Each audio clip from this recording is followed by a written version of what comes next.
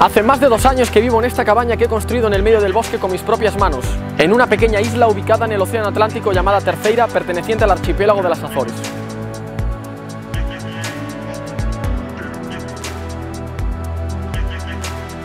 He construido la cabaña en apenas 100 días, en este entorno boscoso rodeado de especies exóticas de árboles, pero que en el pasado fueron zonas de cultivo.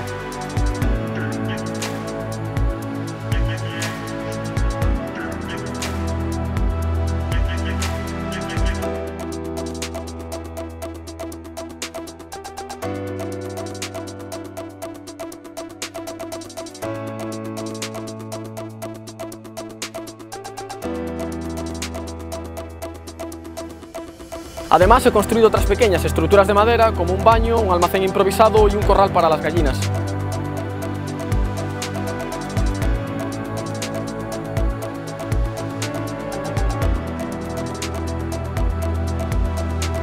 El suelo de este bosque es extremadamente rocoso y hay muchísimas piedras sueltas, que las he ido retirando y utilizando por ejemplo para hacer los muros que delimitan mi terreno y a su vez crear pequeñas zonas de cultivo.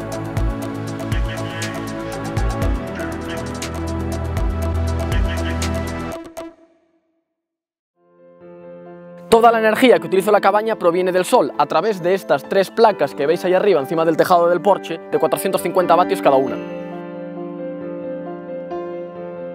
Toda el agua que necesito para uso no potable la obtengo a través de un sistema de captación de lluvia, canalizándola desde el tejado a dos tanques de 1000 litros.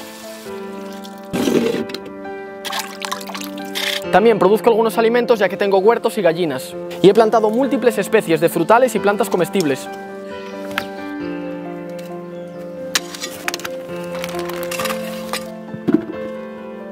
He pasado más de dos años en este lugar remoto.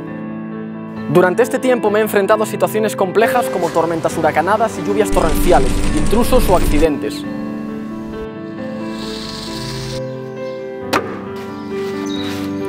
He disfrutado de la belleza, sencillez y brutalidad de la naturaleza.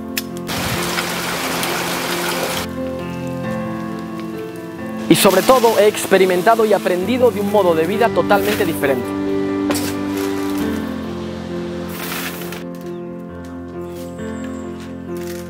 Durante este periodo he vivido 9 de cada 10 días en este bosque, acompañado de mis gatos y mi perra.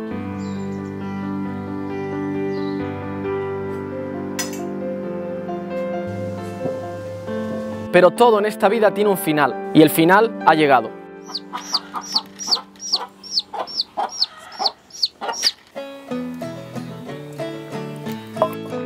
Pero antes de revelarte nada, déjame contarte una pequeña historia. ¿Cómo he llegado hasta aquí? Hace unos 4 o 5 años vivía en una casa alquilada al sur de la isla, pero con el auge del turismo las condiciones de la vivienda empezaron a empeorar. Me sentía superitado a la avaricia del propietario, vulnerable ante la subida del coste de vida y en el fondo demasiado dependiente de las acciones de otros. Decidí invertir algunos ahorros que tenía en empezar a construir una cabañita en un terreno que había adquirido recientemente.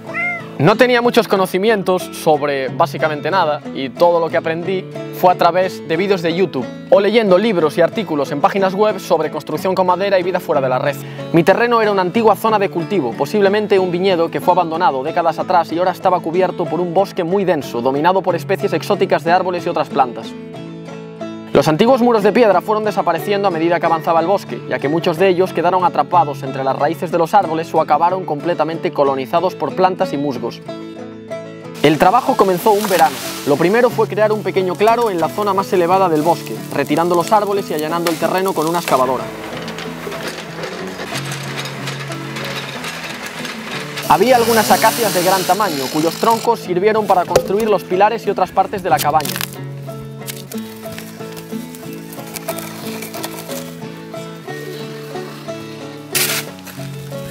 Durante los meses siguientes fui construyendo poco a poco la cabaña con madera de cedro japonés que compré en un aserradero local.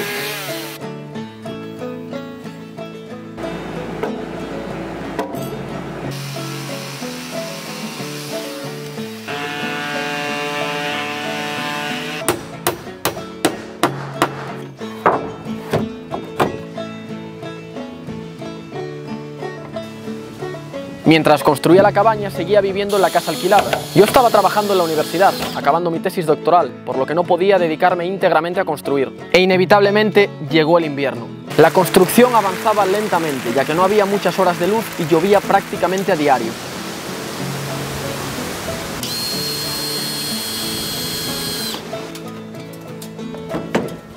Durante este periodo es cuando conocí a Ripa, que como sabéis fue abandonada en el terreno mientras construía la cabaña.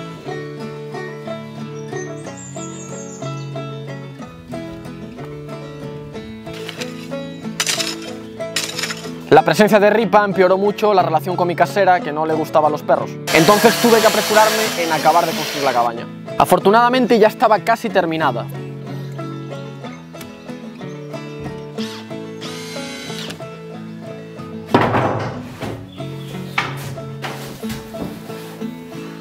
En la primavera fueron instalados los paneles solares y el sistema de captación de agua de lluvia.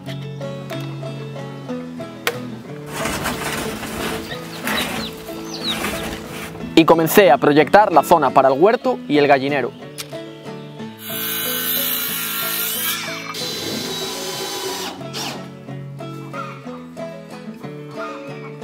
En julio de 2021 terminé la cabaña y me mudé con Ripas, Señorín y Marron a lo que a partir de ahora sería nuestro nuevo hogar.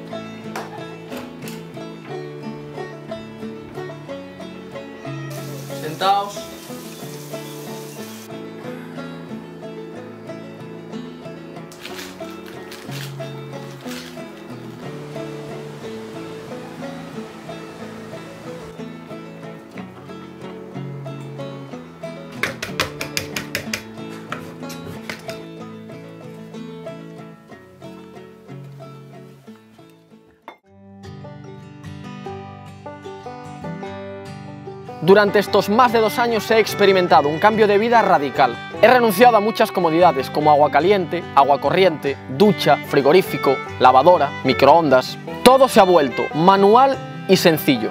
Por ejemplo, uso el agua de la lluvia para rellenar un depósito de 20 litros que uso para fregar los platos. Si me quiero duchar con agua templada, mezclo un poco de agua fría con un poco de agua que caliento en un recipiente metálico. Para beber, tengo varias garrafas de agua que relleno periódicamente en una fuente o casa de un vecino. Normalmente lavo la ropa a mano, en un cubo con agua de la lluvia, aunque de vez en cuando voy a una lavandería. También obviamente al no tener ciertos electrodomésticos he tenido que cambiar un poco mi dieta. Consumo alimentos imperecederos o que aguantan tiempo sin refrigeración, como legumbres, frutos secos, patatas, cebollas, ajos, semillas, arroz. Obtengo algunos productos frescos de la huerta, como calabacines, pepinos, coles, acelgas, tomates o cayotas. Además, las gallinas producen varios huevos que recolecto a diario. También consumo algunos productos enlatados o encurtidos como aceitunas, espárragos, sardinas, atún, maíz. No obstante, si quiero comer carne o pescado frescos o lácteos, puedo hacerlo, pero tengo que comprarlo y cocinarlo o comerlo en el mismo día. También he cambiado la forma en la que se estructura mi día a día, más en función del clima y de las estaciones y no tanto en función de las tareas que tengo que hacer. Es decir, si está lloviendo no puedo trabajar en el exterior y le dedico más horas al trabajo de oficina. Por ejemplo, a editar vídeos o currar en cosas de la universidad.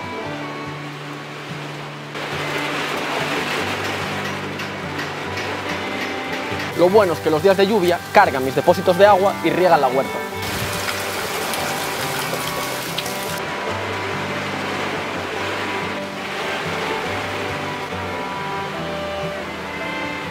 Por otro lado, los días largos de sol como hoy puedo aprovecharlos para trabajar en el exterior.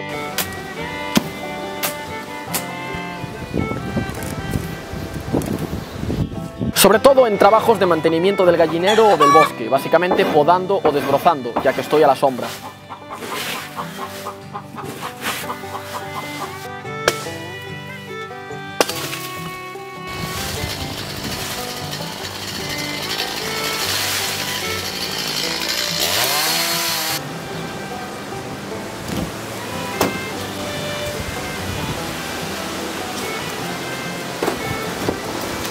Y normalmente, desde mediados de primavera hasta finales del otoño, tengo energía prácticamente ilimitada, particularmente en verano.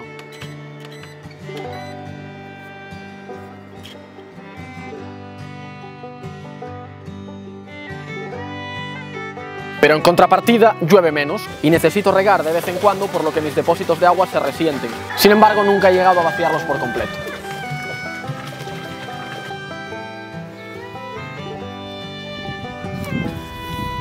Finalmente, cuando el día está muy nublado, es adecuado para hacer ciertos trabajos en el exterior que son un poco más pesados, ya que no hace tanto calor.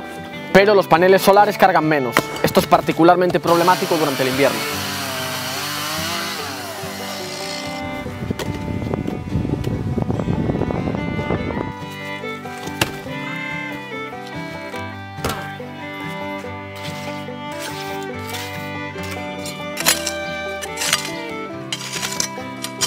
El invierno es la estación más dura, cuando la trayectoria del sol es tan baja que apenas supera la línea de árboles y hay pocas horas de luz. Y además llueve, lo que también me impide trabajar en el exterior y de alguna forma disfrutar del entorno que me rodea. En estos casos más extremos uso un generador de gasolina de apoyo un par de veces por semana para cargar las baterías de los paneles. Como veis, cuando me sobra agua me falta energía y cuando me sobra energía me falta agua. Simplemente me tengo que adaptar a las estaciones e ir cambiando mis hábitos diarios en función de las condiciones climáticas.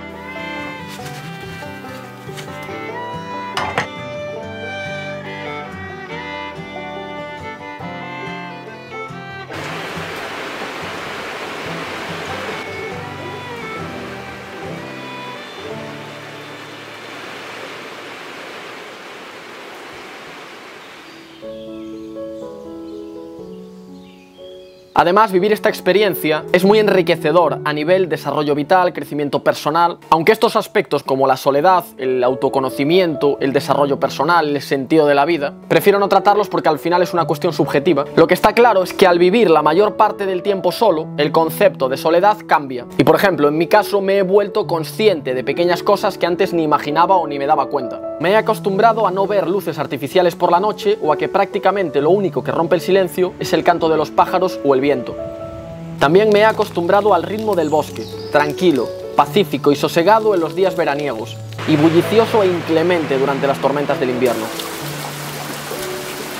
También obviamente la soledad entraña ciertos riesgos. Si tengo un accidente grave, como por ejemplo me corto con la motosierra, es muy improbable que alguien me ayude, ya que no tengo vecinos cerca y no suelo tener cobertura.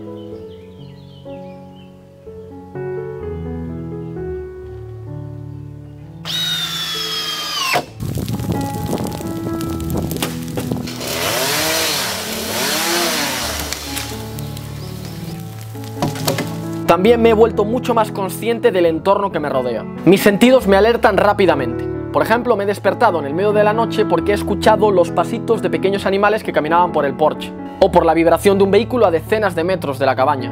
No hace falta decir que por este camino nunca pasan coches por la noche. En definitiva, he vivido una experiencia muy diferente a lo que estaba acostumbrado hasta ese momento. Pero sobre todo, me ha enseñado el horizonte hacia el cual quiero dirigirme.